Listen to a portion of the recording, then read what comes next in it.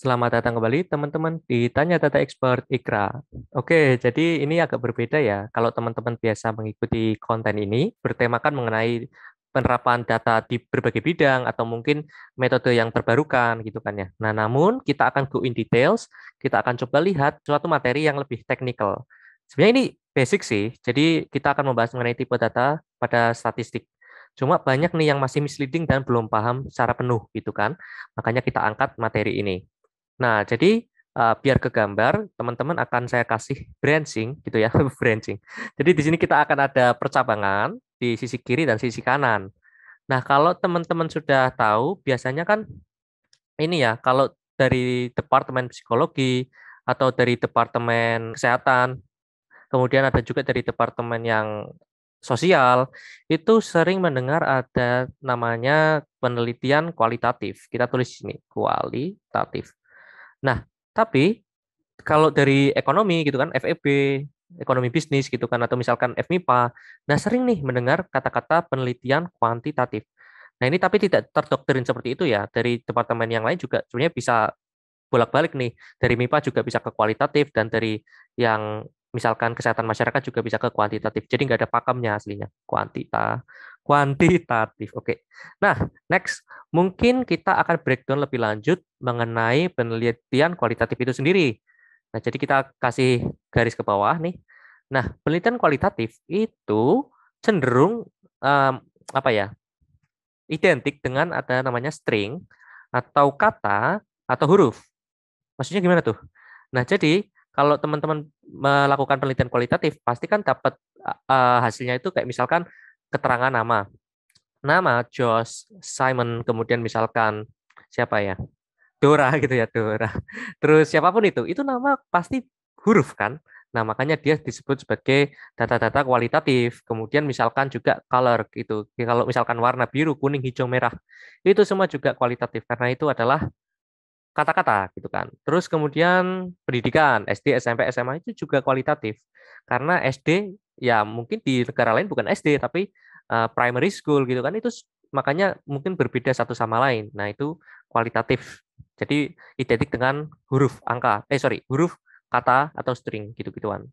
Nah, kemudian uh, terus gimana dong kalau data-data dari data kualitatif itu mau kita olah gitu kan ya.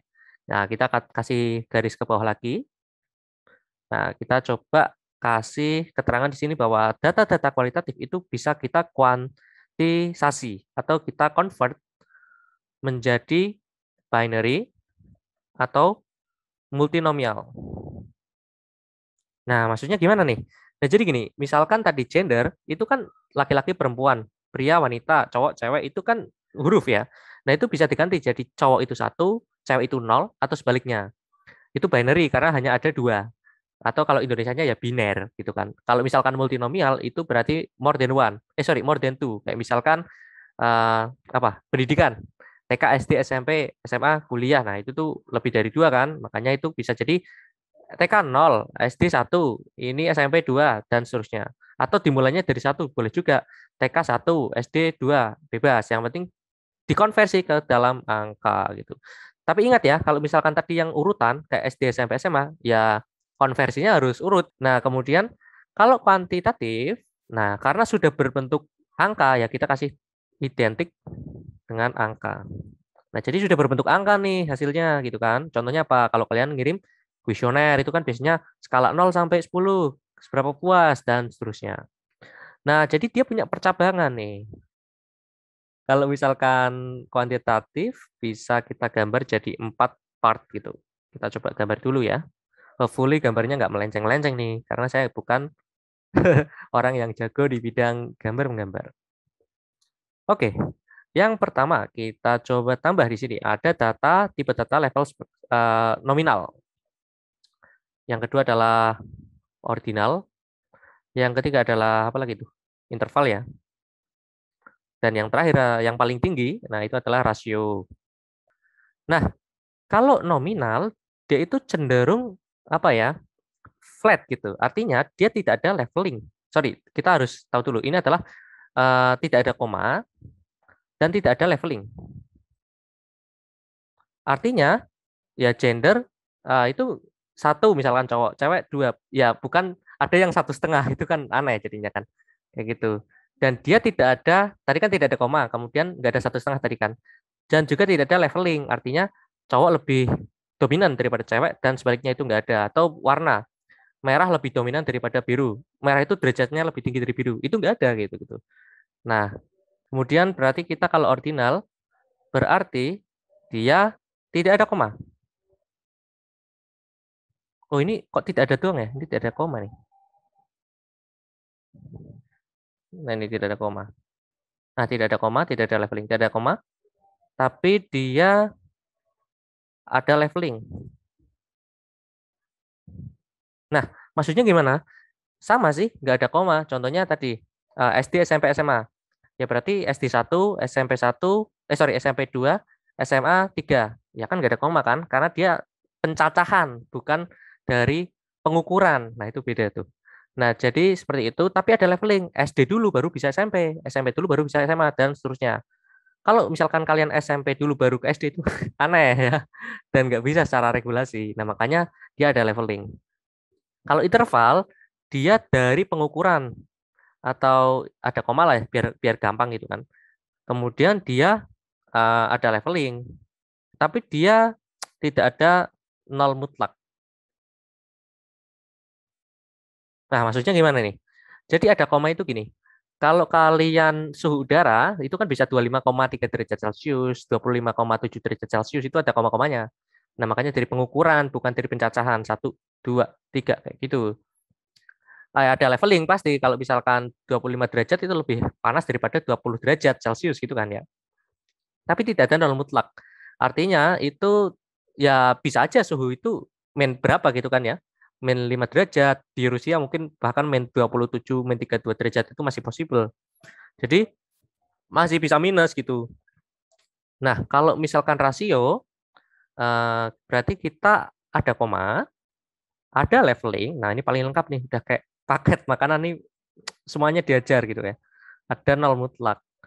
Artinya ada koma jelas. Contohnya berat badan. Berat badan bisa 50 kg tapi juga bisa 50,5 kg. 50,7, 50,4 bisa semua. Ada leveling tentu. Uh, misalkan siapa ya Mayweather itu berat badannya 100 kilo sedangkan McGregor cuma 50 kilo. Nah, jadi kayak gitu. Kemudian ada nol mutlak, artinya ya dia nggak minus juga ya, karena misalkan berat badan minus gimana itu ceritanya? Jadi nggak bisa. Nah, jadi seperti itu. Dan bisa dikatakan juga, misalkan uh, berat badan saya 100 kilo dan teman saya 50 kilo, berarti berat badan saya dua kali lipat dari teman saya gitu. Nah, jadi seperti itu. Mungkin teman-teman sudah ada yang kebayang atau ternyata masih ada yang bingung. Nah, harapannya sih udah kebayang ya. Kemudian coba kita akan masuk ke Q&A. Nah, jadi banyak nih dari teman-teman yang merasa bahwa ini penjelasannya udah cukup oke okay ya, tapi masih ada beberapa yang belum paham. Contohnya, Kak, kalau misalkan nilai pada kartu KHS, kartu hasil studi mahasiswa gitu kan. Nah, dia itu termasuk kategori apa ya? Nah, kalau nilainya A, B, C, D, E, berarti kan nilai E itu paling rendah atau sampai F kan, misalkan. Berarti A itu kayak perfect atau at least dia nilainya lebih dari 80 gitu kan. Ya berarti kan dia ada tingkatan. Nah, jadi nilai KHS itu termasuk data uh, ordinal. Nah, selanjutnya, pertanyaan kedua nih yang sering ditanyakan juga. Tingkat kepuasan yang ditentukan melalui skor 1 sampai 10 itu termasuk apa? Nah, tergantung.